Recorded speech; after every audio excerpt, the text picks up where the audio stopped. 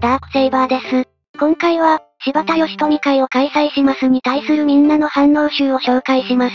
それでは、ドドドどうぞ。相談役こと柴田義富会、会員、マチタン、ヤマニンゼファー、キング、中山フェスタ。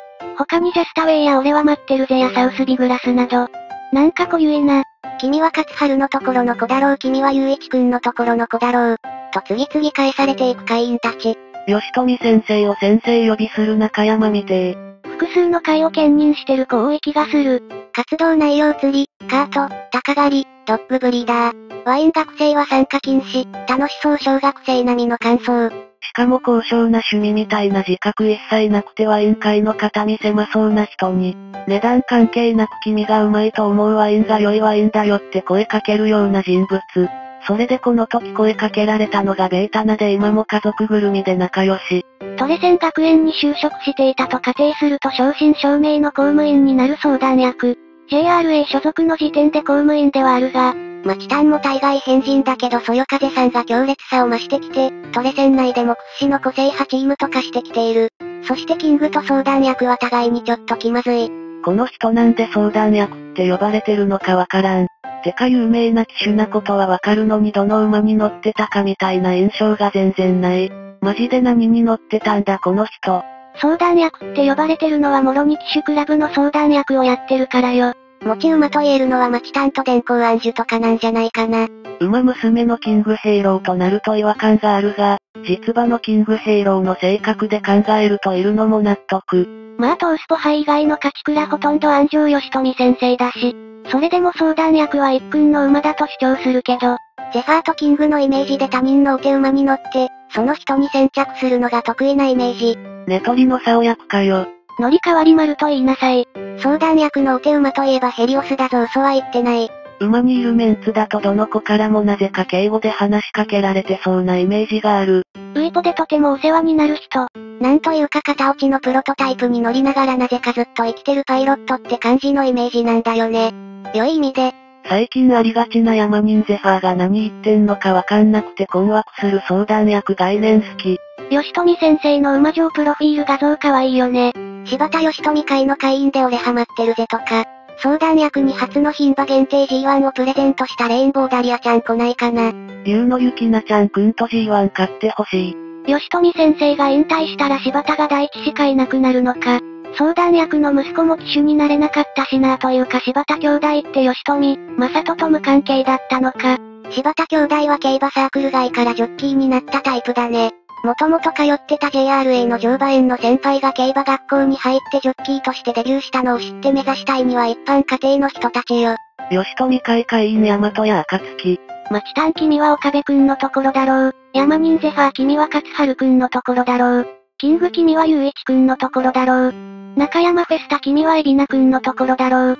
弾薬が視線とはっきり言える馬娘は誰だ？G1 級取った馬で明確に視線機種だったのはサウスビグラス馬娘かはしてないが。追記1戦除いて相談役だった大気フォーチュン。中山は中山でもないとの方。ワールドオールスタージョッキーズで吉富先生を応援するフェスタが見たい。第3レースで先生の大穴にかけて大勝ちしたお金を全額そのまま。第4レースの先生の A ランク馬にかけて勝ち誇った顔しててほしい。視線が不在の時に代打で呼ばれる都合のいい男感。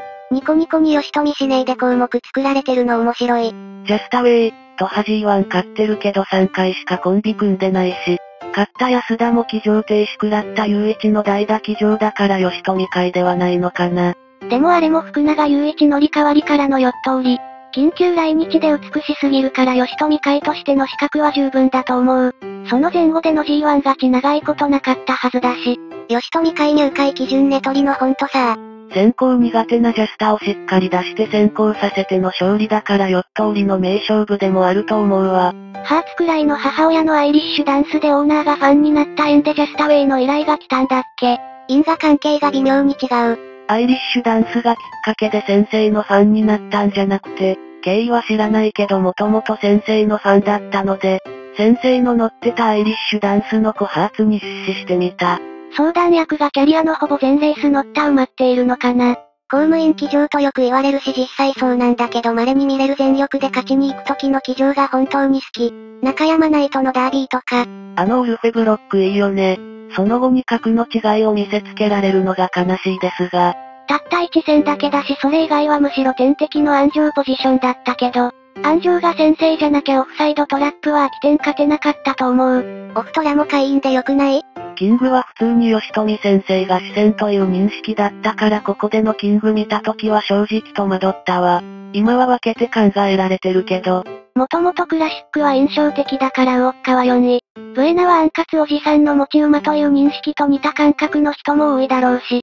アニメイチゴやアプリ本編で気負いすぎてダービー暴走、サツキ2着、神戸新聞はい花さ負けアニメイチ話が、再現されてるのも大きいんじゃないかな。あれはゆういちくんの馬だ発言は調べないとわからないだろうけど。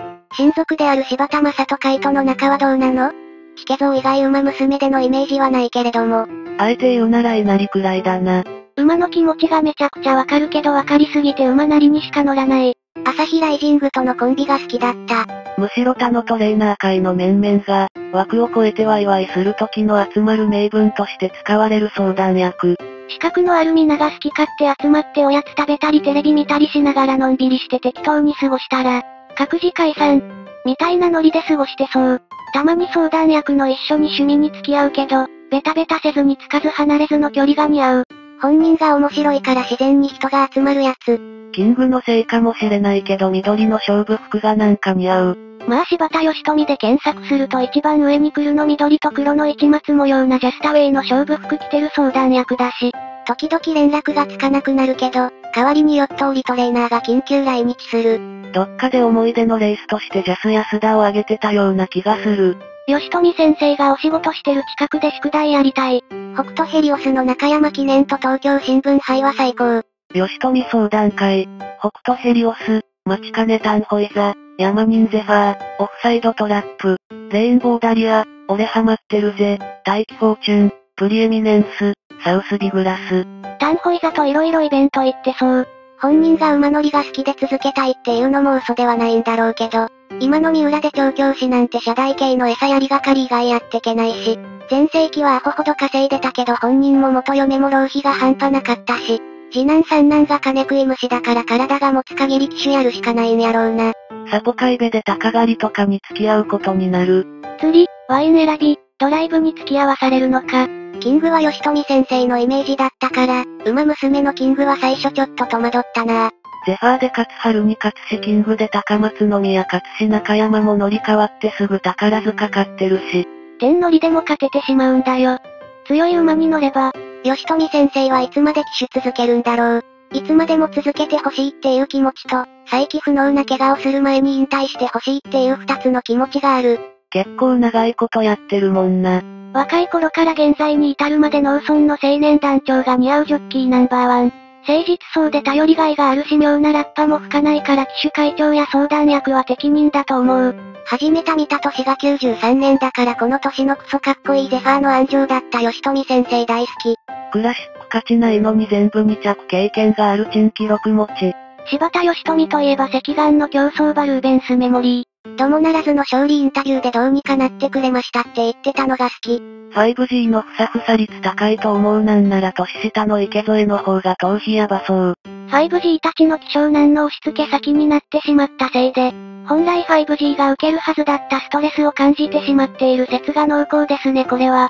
池添は辛労がね。でも年中メット被ってる割に機種って激しくない気がする。大掃除くらい？ピカピカ西田とかハゲアミとか。相談役さんは有名な機種の中では馬にフラットな人だと思う。別の機種の脳を焼いた馬の代役機種として出ることが多いから。確かにこの人のお手馬ってパッと浮かばない後 G1 を思ったほど買ってないのが意外だった。ウィキ見たら中山フェスタで右回り G1 初勝利って書いてあって、嘘でしょ。状態になった。お手羽と言っていいのかわからないけど、マチタンには割と乗ってたみたい。ヨット売りなんて言われてることもあったね。大変だろうけどまだまだ頑張ってほしい。